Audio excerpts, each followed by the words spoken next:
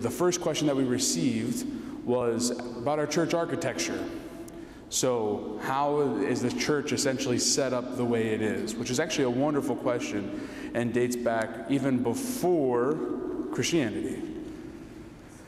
If you think about the church building, I'm sure not everyone knows what an ancient Jewish temple looks like, but an ancient Jewish temple kind of looks like this outside of icons and let's say more of like how you, we have columns and things like that. But it's actually used to be a, like a row, and there used to be an outer area, kind of like our narthex, the place where the people would be, the holy area, and then a separation from the people to what was called the holiest of holies.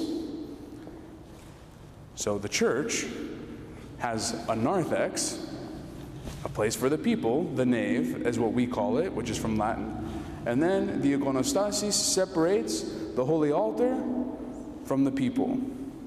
And so there's those couple divisions there. Now, we'll start in the narthex. And the narthex was, and these are, and I leave it in these three areas because no matter where you go, you're always going to see those three things. There will always be a narthex, there will always be a nave, and there will always be a sanctuary, a, a holy altar. So you, those are things that will always be there. Now, sometimes it might look different. There are churches, and even if you go into Europe, that even have what's called exonarthexes. So it's they have their narthex, but outside of it's either, let's say, a patio type covered area or where it's you know you'll see things where it's connected to other buildings and there's like the overall the the covers uh, to walk when if it rains and things like that. So there's different let's say variations of it all of course. But again every church is going to have those three parts. So that exonarthex area would be similar to what we have that area that flat area right outside before the stairs begins type thing if there were to ever be something that's there. Um, but the narthex serves primarily as a place of separation from the world to the church, right? We come from our cars and whatever, whether we walk or drive, bike, whatever it is, and we start in the narthex, and that kind of almost has our one separation from the world. We come in, we light our candle, we venerate the icons, we kind of get in the, let's say, the mood, if not more focused on what's to come in the liturgy.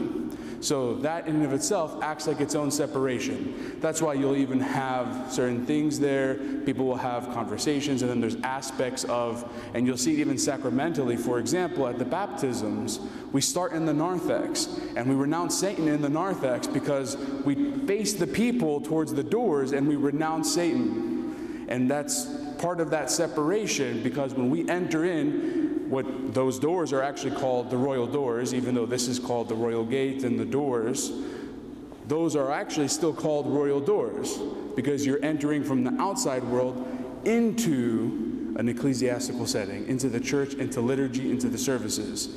And so those are also, architecturally speaking, within the church called royal doors. And so we enter in to the nave. And so the nave will look different depending on, let's say, where you are. If you go over to Europe and other churches, you're not really going to see pews. They, some of them still, some of them have pews, but the, the first part of our tradition was actually no pews, open area. And if anything, let's say, that resembled a chair would be what's called a stasidi, uh, or stasidia, and they are surrounding the walls, and they kind of look like really tall armchairs. So like you you you, stand, you sit in one, and there's armrests, and it's really meant for you to be able to stand, and you can take the weight, let's say, off your feet if you're tired, and you'll still be able to stand. And sometimes there's a little bench seat, which is kind of cool, but most of the time they're really just essentially armchairs, like tall armchairs for you to stand. Um, because within the liturgy we're actually supposed to stand and we're actually supposed to move. It's social it's but it's also mainly focused here focally meaning the eucharist but it's meant for us to walk around and look at the iconography and so on and then at the times where we're to be attentive to be attentive so that's why they have those is because we are essentially given the opportunity to stand the whole time and if it means we're tired to take the weight off our feet whatever it might be um, and that's what you'll see let's say when you go other places there's still churches um, that still have those. And actually, the Panagia Chapel at the Diakonia Retreat Center, um, which we're going to go take a pilgrimage to in the end of this month, the church, as it opens, will actually have those stasidia versus the pews that we sit in. The pews that we sit in come mostly from a Western tradition. Um, essentially, you go into Catholic churches and so on, they have the more rigid structure of pews.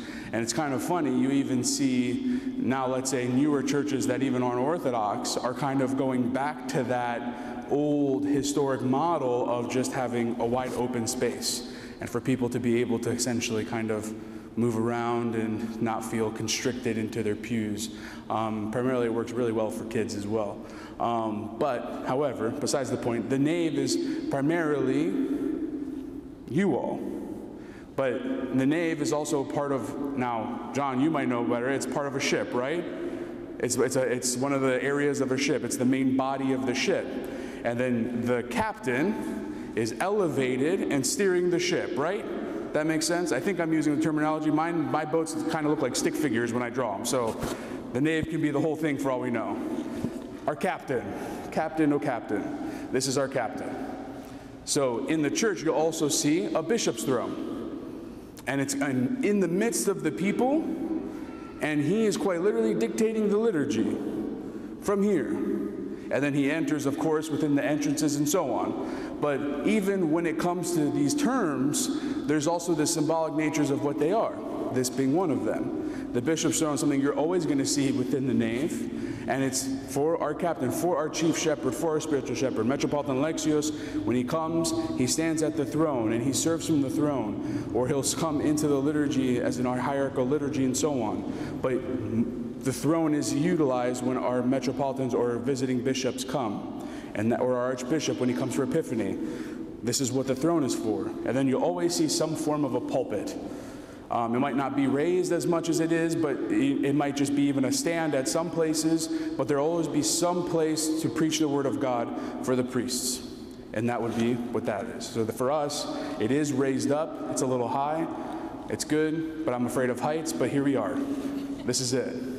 Um, you'll always see these things. And then the iconography we'll talk about at a later time, though, because there's an actual process and procedure to all of the iconography within the church. And so that's probably what we'll talk about next week. And when I say probably, that is what we're going to talk about next week.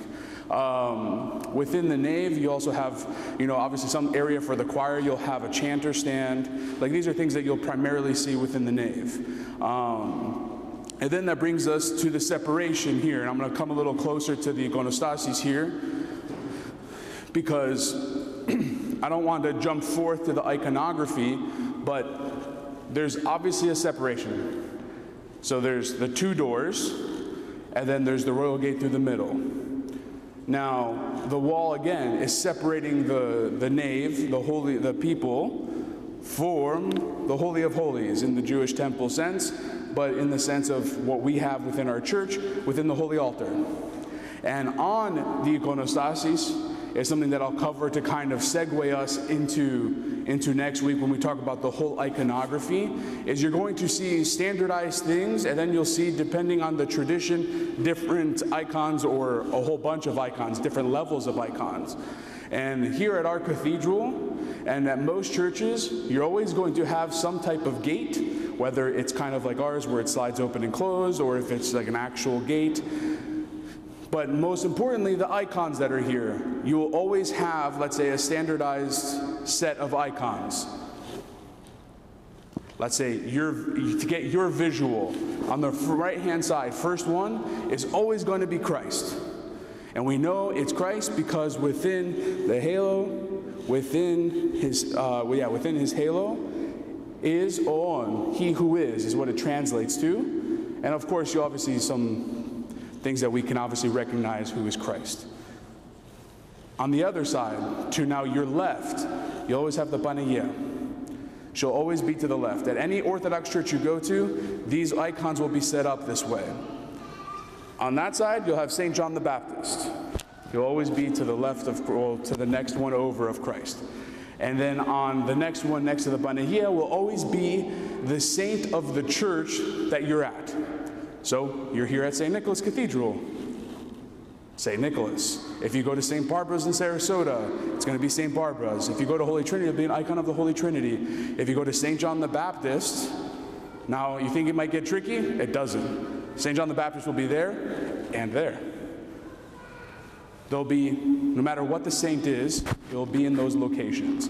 The doors, now kind of looks here at St. Nicholas because we have the big St. Peter and Paul, but on the doors of whatever iconostasis exists will always be the two archangels, Archangel Gabriel and Archangel Michael.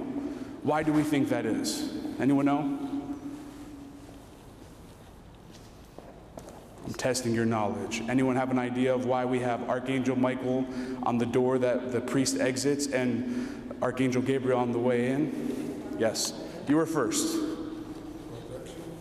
What was that? Protection. For protection? Absolutely. What else? Sydney. Almost like the Garden of Eden, in a way. Ex- expand. Because I noticed that um, for the, the great entrance, the altar boys, they exit from the Archangel Michael on the left side, almost like the expulsion of Adam and Eve. Correct. It's not necessarily the expulsion of Adam and Eve, the expulsion of Satan. So, we leave Archangel Michael, and it's actually really seen in this icon here for if you need a visual, because Archangel Michael, let's say, is credited for kicking Satan out of the kingdom of heaven. So, we leave the holiest of holies through Archangel Michael because he is the one, let's say, who is the bouncer of the kingdom of heaven. He essentially is the security, the protection of the kingdom of heaven. So we exit through Archangel Michael's door. Now, sometimes you'll see here there's a little tradition of the altar boys kind of going back into that door. That's primarily out of practical reasons because our altar is kind of small and all of the stuff is over there, so they just kind of go back over there. But when you have a larger church and you have a, large, well, a larger altar, you'll see them go in and out of these doors. We go in through Archangel Gabriel. Why? If Archangel Michael kicks out, who lets us in? Archangel Gabriel. How? He gave the message to the Panagia of you are to bear a son, allowing for the salvation of his creation to not no longer have power. I mean, to no longer be have overpowered by death and conquering death by death, allowing us to come into the, the kingdom. So we go into the Archangel Gabriel doors. And so this is iconostasis. And then you'll see, of course, we have different levels of icons. And if you go to, like, for example, a Russian Orthodox church, you'll see it quite literally all the way up. You'll see it go all the way up, and there's a whole bunch of different levels, and they have their own, let's say, tradition of iconography. And so that's what you'll see primarily when you go that separation, depending on where you go, you'll see different things, but no matter where you go, you will see those sets of icons in those locations. And so that kind of segues us into next week, so I don't want to take more about where the iconography lands, but I think because of the iconostasis being such a, a distinct separation, that it was worthy of, of speaking about today. And then within the holy altar, of course, you have your altar table, which is, for obvious reasons, the holy altar table. Um, it's where we put the gifts when we do the great entrance. It's where the gifts are consecrated. And then there's um, an apse. There was three apses in the, actually architecturally speaking, in the church. And you see, obviously, the big one, which is the whole altar here. And then there's two side ones. Some churches will have three similar sized ones. Some will have like two smaller ones on the side and then one big one. For us, we actually have one big one, and then the smaller apse are just where the, the tables are. You can't really see because the doors are closed. Um, but if you ever get up close for whatever, you know, for whatever reason, you'll be able to see them. And the one on the left hand side is what's called the, the preparation area. Um, it's called the prothesi, where we do proskomidi, where we prepare the gifts for liturgy. And on the right hand side, again, we're using your guys' view. On the right hand side, it's what's called diakonikon. It's called the, it's the place for the deacons, and that's where all the liturgical items, vestments, altar covers, things like that. That's where most of that stuff is stored. And so that's those three apps that we have. So that's like the rounded shape.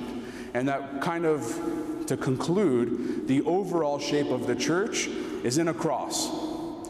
Most churches are like that. I, there are some there are some churches that are, let's say, a whole dome. There's a church, St. Paraskevi in Long Island, that's actually one just very large dome. So it depends on where you're at, but most churches are in the shape of a cross, and they don't have pitched roofs. They're they're rounded, so they're you know so they're domed basilicas in a sense. They're more rectangular in that shape of a cross, and then they'll have the rounded ceilings. Versus what you would think a basilica in the Roman Catholic Church would be with like those peaked roofs and all you know beautiful, let's say sharp lines. Ours are more rounded. Um, so that's what kind of what you'll see architecturally speaking. So are there any questions when it comes to the church architecture? Yes. One, and then two. Our leader, our king, or is our bishop, and he's raised up as our leader. When he's not here, is the altar raised and the priest replaces our leader? Correct. So actually what you'll see, not necessarily in, in the Jewish ancient tradition of the temple, but you'll also see in the Roman home, it used to be set up where there would be an area for the, the family to, let's say, like a living room area, and then the eating or any, any aspect of their family life that would bring them together in communion was actually raised up at a higher level. So their kitchen, their, their dining room tables, their, that area where they're spending time together, that's actually raised up. So that, that particular kind of tradition actually does come from that where the altar is raised up. But again, in a similar sense, it's raised up at a higher level for them to, let's say, sear the area to steer the ship, the peoples.